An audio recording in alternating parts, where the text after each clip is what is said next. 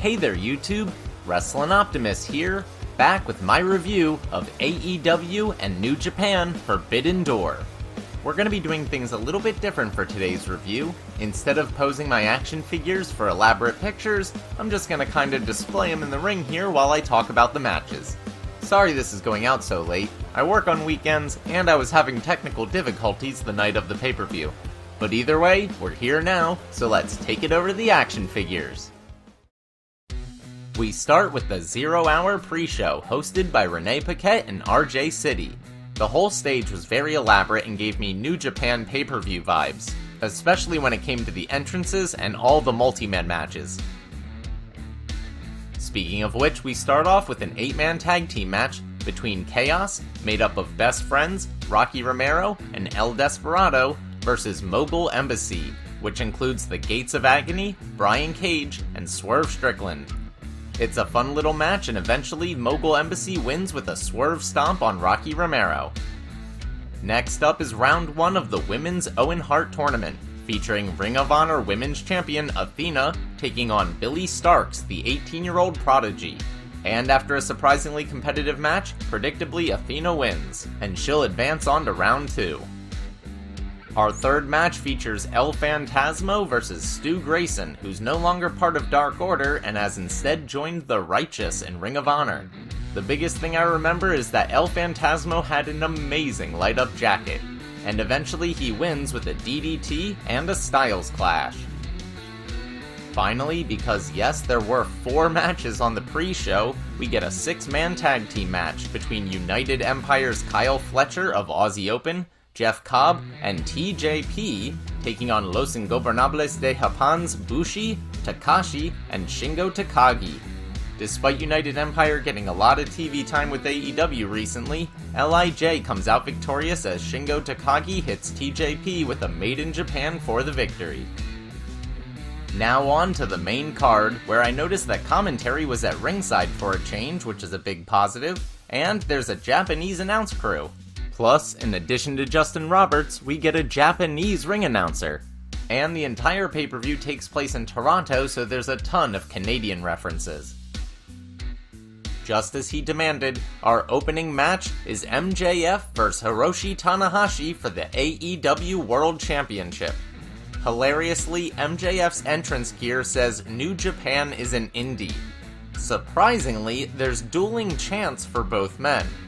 At one point, MJF tries to walk out, but Tanahashi starts a coward chant, forcing MJF to come back, where he does a fake handshake, but Tanahashi sees it coming and slaps him across the face.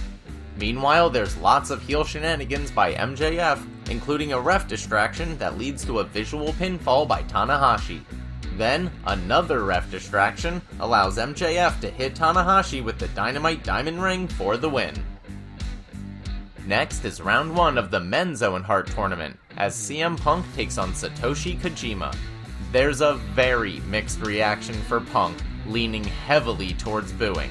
And the crowd reaction is basically the entire story of this match. Punk plays into it hard though, not wrestling like a heel, just taunting the crowd like one. He also uses a lot of other wrestlers' moves, especially Japanese wrestlers, including Kojima's tag partner, just to mock Kojima and give the smart fans something to cheer. They respond with chants of Pepsi sucks, amongst others.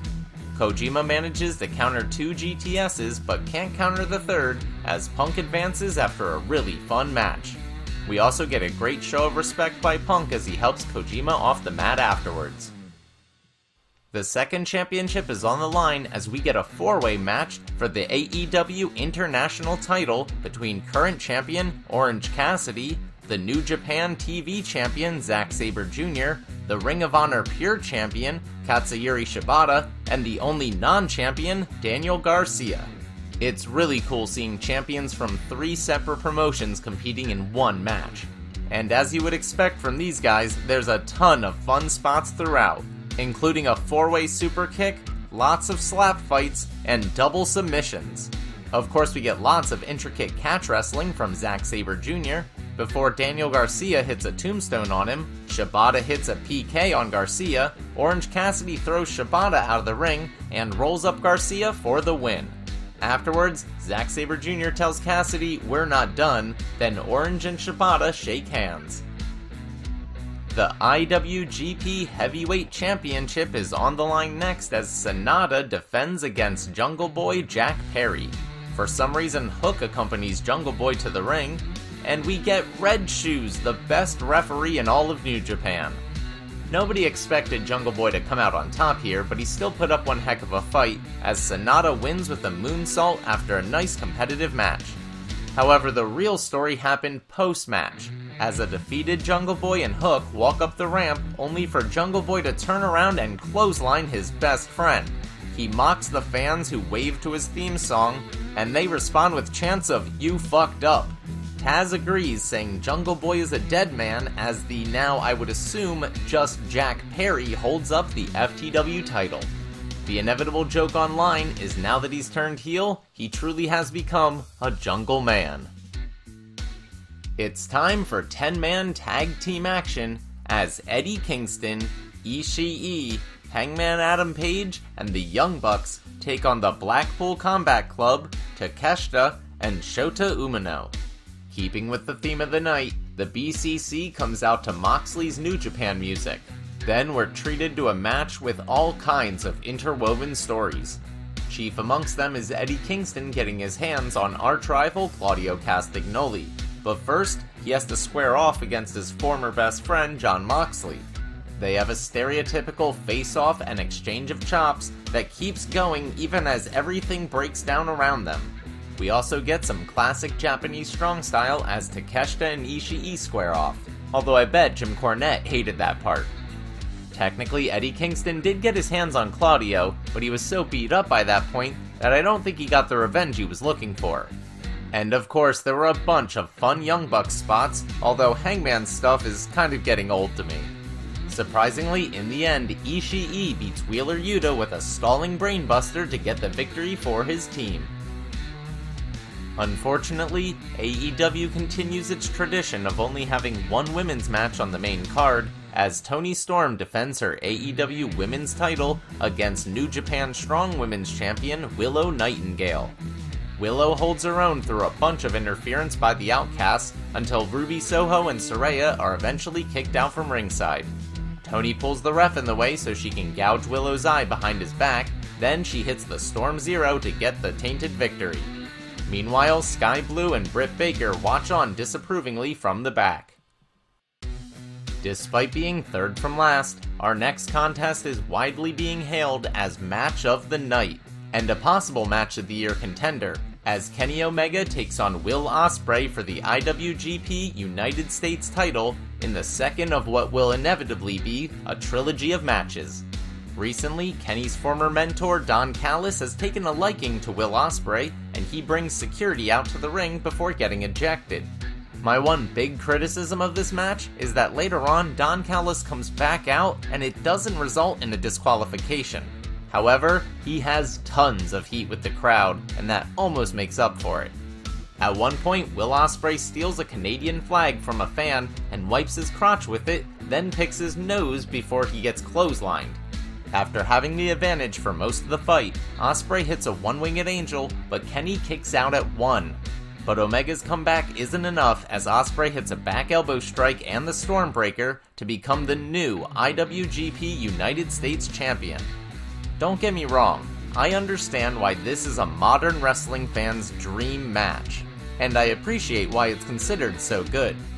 However, this style just isn't for me personally. So hate on me in the comments all you want, but spoiler alert, I thought the main event was match of the night. But before we get to that, we still have a six man tag team match between La Suzuki Gods of Chris Jericho, Sammy Guevara, and Minoru Suzuki taking on Darby Allin, Sting, and Tetsuya Naito.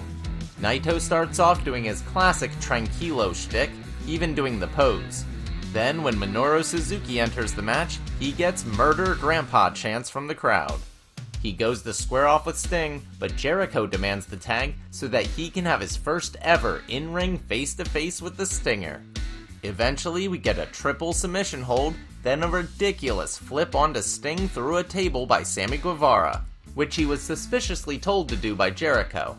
Darby Allin continues to prove why he should be the only person in wrestling allowed to do suicide dives, but he's eventually taken out by a Judas effect, so Sting and Naito have to team up on Suzuki in order to get the win.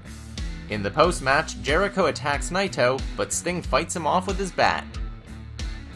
Finally, in the main event, the only title on the line is Best Wrestler in the World, as the American Dragon Daniel Bryan takes on the Rainmaker Kazuchika Okada. First, let's get this out of the way. The final countdown entrance music is back for Daniel Bryan. Don't get me wrong, Okada's entrance was legendary too, but having the American Dragon's indie theme back popped all the marks hard. Just wow. This turned out to be one of those matches so epic it gets This Is Awesome chance before the two competitors even lock up. In a similar way to Omega vs. Ospreay earlier in the night, this is a dream match for pro wrestling fans. Each man played the hits, so if you've seen their other matches, you can probably tell how this went without the play by play. Either way, it was over 20 minutes of two masters of their craft. Danielson legitimately injured his arm, which played into the ending. But before that, he did a worked injury spot, faking convulsions on the ground, before dodging a Rainmaker and hitting Okada with a knee. Then, impressively, Danielson manages to lock in a submission using his legs instead of the injured arm, and force the tap out to officially earn the title of Best Wrestler on the Planet.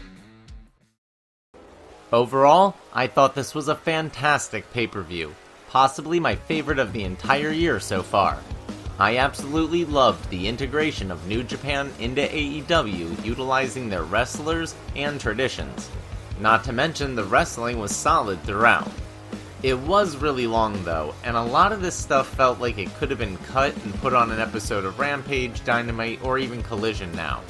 But it's not every day that you get to put together an entire card of dream matches, so I understand and if I had to give it a grade, depending on your scale, it's either 5 stars, A, or 9 out of 10. And that's gonna do it for my action figure review of AEW and New Japan Pro Wrestling's Forbidden Door 2023. Let me know what you thought of the pay per view down there in the comments. And if you enjoyed this video, make sure to do all that normal YouTube stuff. Smash the like button, share with any wrestling or action figure fans you may know, subscribe to the channel, and spread the word.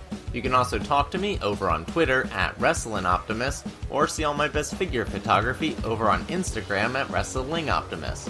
If you haven't seen my latest video, it should be on screen now. But until next time, I've been Wrestling Optimus, and I'll catch you later.